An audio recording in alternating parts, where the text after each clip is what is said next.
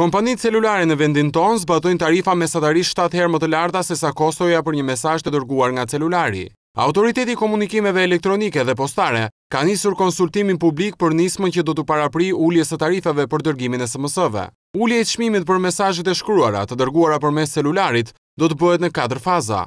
Ulja e parë është parashikuar në tetor të këtij viti ku tarifat do të ulen katër lekë në dy pikë katër lekë për SMS, pa përfshirjen e TVSH-së. Faza tjetër e uljes së çmimit të SMS-ve është marsi i vitit dy mijë e dymbëdhjetë. Çmimi i tyre parashikohet të jetë një pikë dyzet e katër lekë për SMS.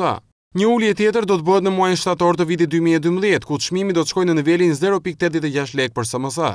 Ndërkohë që ulja e fundit, e cila përfshin edhe fazën e katërt, do të bëhet në shtator të vitit dy mijë e trembëdhjetë. Tarifa e terminimit të mesazheve në rrjetet celulare në këtë vit do të stabilizohet në nivelin zero pikë pesëdhjetë e tetë lekë për mesazh. Sipas AKEP-it, tarifa aktuale e terminimit të SMS-ve është në nivel shtatë herë më të lartë sesa kosto e ofrimit eficient, çka sjell ndikim negativ në zhvillimin e konkurrencës për këtë segment të tregut dhe minimizon dukshëm përfitimet e konsumatorëve për këtë shërbim.